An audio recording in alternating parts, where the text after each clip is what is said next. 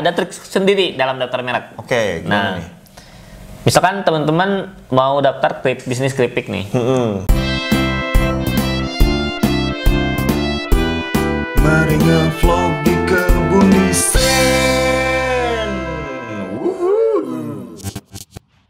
Assalamualaikum warahmatullahi wabarakatuh. Selamat datang di vlognya Kebun Desain. Oke, seperti biasa kali ini kita mau ngasih tip ataupun informasi bisnis yang tentu aja ini bisa berguna nih buat teman-teman. Iya, Tapi sebelumnya nih ya, barangkali ada teman-teman yang baru lihat channel ini tuh channel apa sih? Nah, jadi channel ini tuh merupakan bagian dari studio desain grafis Kebun Desain yang kita tuh sering bahas apa, Jis? Nah, kita sering bahas tentang tip bisnis, tips desain, inspirasi bisnis, tips marketing. Pokoknya segala hal tentang bisnis kita buatkan konten di YouTube ini. Iya, dan tentu aja karena kita ini studio desain ya, pasti jualan desain dong, masa Iya. enggak? Kita jualan desain logo, jualan desain kemasan, desain sosial media, iklan segala macam tentang desain yang bisa membantu bisnis teman-teman bisa diorder di sini. Iya, bahkan banyak teman-teman yang juga minta apa namanya? Pendaftaran. Iya, pendaftaran. Ya. Kebun Desain juga eh, membantu teman-teman yang mau daftar merek, daftar NIB bisa juga dibantu di Kebun Desain. Iya, karena hal-hal yang kayak gitu lumayan memusingkan nih buat para UMKM Iya, kayak gitu ya. Langsung WA aja di bawah video. Iya, dikontak aja nomor WhatsApp yang ada di deskripsi. Siap. Oke nih Jis, ada pembahasan apa kali ini nih? Kita mau ngebahas tentang kelas merek. Oke, kelas merek nih Kelas ya. merek. Jadi sebelum-sebelumnya kita pernah bahas juga nih kelas merek. Hmm, Tapi waktu itu kita videonya itu digabung dengan tutorial. Oh iya, jadi Dengan cukup panjang ya, ya. dengan tutorial, terus digabung lagi, ada lagi digabung dengan eh, apa nggak cara ngecek nama Hmm, agar berbeda dengan bisnis teman yang lain gitu. Nah sekarang kita buatkan khusus tentang kelas merek. Oke, kelas merek aja nih ya. Jadi ini buat yang pengen daftar Eh, daftar merek Ya, di merek. DJKI. Iya, kayak gitu. Sebelum kita lihat di komputer nih, kita sedikit penjelasan dulu. Hmm. Iya. Jadi dalam kalau kita mau daftar merek, Hmm. nah ada kat- namanya kelas merek. Kelas Hmm. merek itu kalau bahasa lainnya itu kategorinya. Kategori Oke. produknya apa nih? Karena di dunia ini ada berbagai macam merek ya. Ya, ada berbagai macam merek, berba- berbagai macam produk gitu. Ya, dengan kategori-kategori yang juga sangat banyak Iya. gitu ya. Makanya eh, kita harus tahu dulu kita kategorinya apa nih. Hmm. Apa. Jadi misalkan teman-teman jualan baju, Mm-mm. nah itu masuk kategori atau kelas mana. Mm. Terus misalkan jualan furnitur, Mm. nah itu masuk kategori mana, kelas mana. Oke. Nah kadang kenapa sih dibeda-bedain gitu ya? Karena memang eh, agar memudahkan si merek itu sendiri untuk diidentifikasi. Iya, karena kan kita daftar merek itu menjadi brand yang satu-satunya ya, Iya. yang nggak bisa ditiru orang gitu. Sub dikategorisasikan itu biar mudah. Pas kita cek di kelas apa, itu udah ada nggak yang sama namanya Ya, gitu betul. kan? Khawatirnya ternyata udah ada yang sama gitu. Nanti nama kita tertolak gitu kan? Ya, contohnya misalkan eh, teman-teman punya bisnis pertama produknya baju misalkan, Mm. kedua furnitur. Nah ini nggak bisa digabung nih karena kategorinya berbeda. Iya. Nah jadi harus daftar mereknya dua kali dua gitu. ya. Jadi daftar merek itu per kategori, per kategori produk gitu. Per produk berarti ya istilahnya ya. Iya, cuman ada juga yang sama. Mm-mm. Contoh misalkan baju dengan celana, Oh. dengan topi. Nah itu sama tuh. Jadi nggak harus daftar merek lagi gitu. Karena masih dalam kelas yang sama ya. Masih dalam kelas yang sama. Nah biar lebih paham kita langsung lihat di komputer aja. Oke, langsung kita cek. Nah ini kan di komputer nih. Hmm. Kalau misalkan pakai HP juga sama. Pakai HP juga sama Pakai ya? HP juga sama. eh, apa namanya step-stepnya atau tahap-tahapnya sama. Ya daftar di HP juga sama gitu ya. Sama kalau untuk ngecek kelas merek. Jadi sebetulnya tinggal masalah kalian terbiasa di HP atau di komputer lebih mudahnya ya. Ya, sama aja soalnya. Yang pertama buka di Google Chrome dulu aja. Oke. Google Chrome-nya buka eh atau misalkan pakai browser lain boleh. Yang penting buka Google terus habis itu ketikkan sistem klasifikasi merek. Nah, nanti akan muncul nih yang pertama nih, yang dari website dgip.go.id. Mm-mm. Nah, diklik.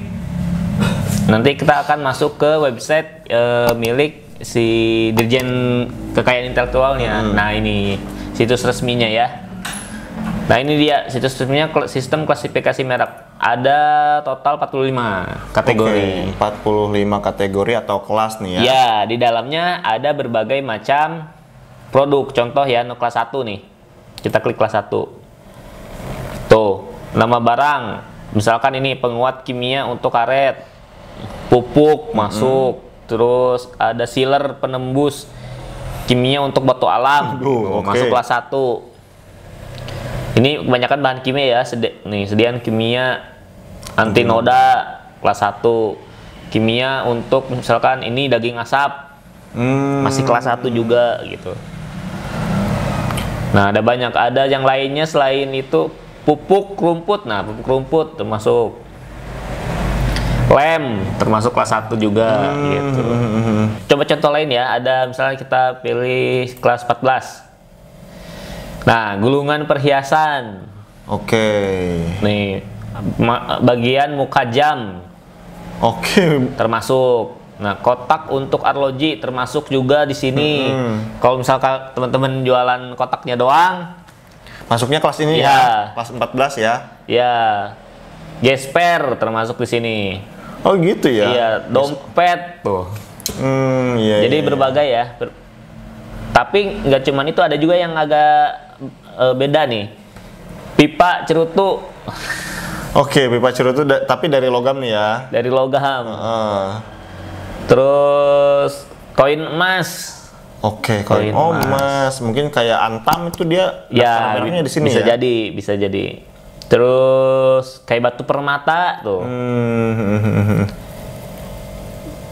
Nah, ada banyak sih di sini bisa dicek ya.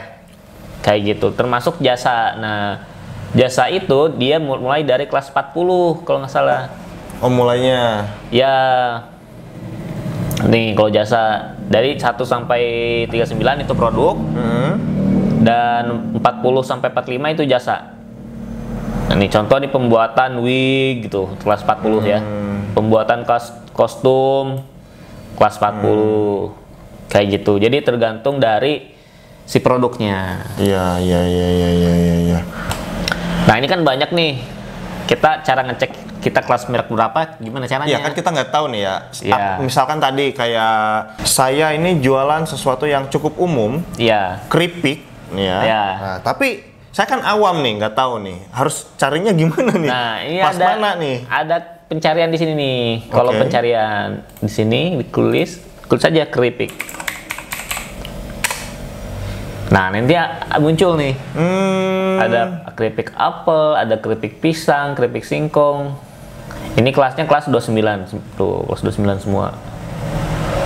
Ada ya, coba kita cek ada yang Ada nggak yang di luar dari kelas 29? Nah, keripik kacang kelas 30. Oh beda nih ya. Ya, keripik bawang kelas 30. Nah, jadi kalau misalkan teman-teman punya satu keripik jamur, yang satu keripik bawang, nah itu nggak bisa tuh jadi daftarnya satu kali, harus daftar dua kali gitu. Karena beda kelas ya. Iya, beda kategori produknya. Terus ada lagi nih keripik yang kelas 5 ini ada nih. Oh, keripik ekstrim banget nih jauh nih. buah untuk bayi kelas 5 dia. Jauh nih. Rata-rata semuanya 29 30 29 30 nih ya. Iya. Secara garis besar tiba-tiba itu ada yang kelas 5 jauh nih. Iya, betul. Jadi harus jelas juga keripiknya keripik apa. Nah, misalkan eh, ada trik sendiri dalam daftar merek. Oke, gimana Nah, nih?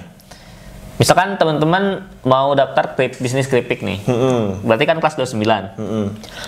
Nanti kan di, pengesi, di pengisian formulirnya eh, bisa dilihat di video sebelumnya ya. Nanti kita pilih kelas 29. Nanti dipilih kelas 29 di pengisian formulirnya. Nah, nanti akan muncul berbagai produk yang kelas 29 tuh. Ah, iya iya iya iya iya. Nah, kita jangan pilih satu doang kalau bisa. Maksudnya pilih satu doang apa? Misalkan kita misalkan eh, kita jualan apa ya? eh, di sini. Keripik misalkan keripik singkong ya. Heeh. Keripik singkong. Nih, keripik singkong kan 39. 29. Eh, 29. Mm. Kita checklist juga nih, pilih juga ke keripik pisangnya. Keripik pisang, keripik apelnya. Yang kemungkinan mu- mungkin ke depannya itu akan dipakai. Oh, yang kita tuh kemungkinan itu nanti bakal bikin lagi nih ya. Ya siapa tahu kita ke depannya akan bikin eh, keripik pisang gitu. Udah terbayang sebetulnya bisnis kita tuh perkeripikan. Keripik singkong nih udah mulai oke nih. Kayaknya mau mau ekspansi ke keripik-keripik yang lain, tapi Ya. belum untuk saat ini belum. Ya. Tapi untuk jaga-jaga ke depannya mau karena mau nih ada, Ya. ada ada apa namanya? ada niatan mau berkembang. Ya. Itu yang kelas-kelas yang lain Pilih juga. pilih juga yang keripik, pisang ya, gitu ya. keripik lain yang pilih juga tapi hanya dalam satu kelas itu. Yang kelasnya sama 29 Iya. gitu ya. Hmm. Jadi itu nggak perlu bayar lagi kita tuh, nggak perlu bayar lagi. Terus eh, karena itu satu kelas dan keripiknya juga udah banyak yang 12 yang kelas 29 tuh ya. Hmm. Ya nggak apa-apa. Ini di checklist semua juga nggak apa-apa kelas 29 ini. Ada pertanyaan, tapi kan saya belum ke situ, belum punya. Ya nggak apa-apa Nah, ya. Ya nggak apa-apa, nggak masalah. Misalkan udah terdaftar nih lolos keripik pisang, tapi yang dijual hanya keripik singkong, nggak apa-apa.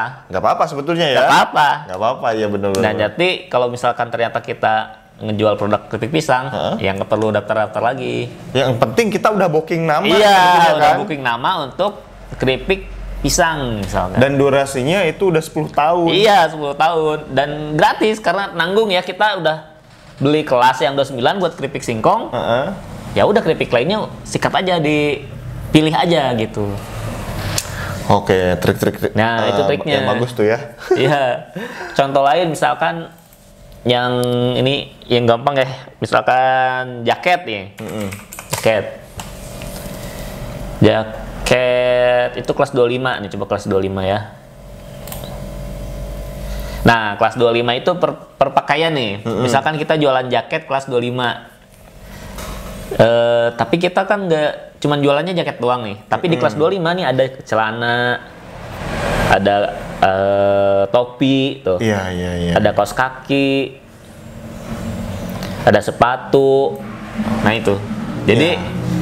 Misal kita brandnya bikin jaket, tapi di kelas 25 ternyata ada yang lain yang memungkinkan kita untuk ke depannya memproduksi barang lain gitu ya. Di checklist aja, dipilih aja. Gitu. Iya, kan misalkan berkembang nih dari jaket aja.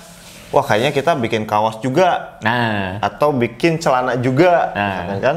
Bahkan sampai aksesoris-aksesoris kayak topi atau yang lainnya gitu ya. ya Kenapa enggak di checklist? Kenapa enggak? Udah dipilih aja langsung gitu. Yang sekiranya penting lah buat ini.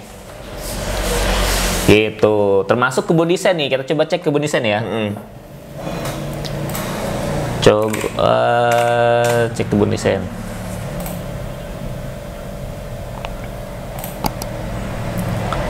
Agak lama ya loadingnya nih. Nih, ini kan gimana? Nah, Nih, coba kebun desain. Nah, ini kebun desain ya.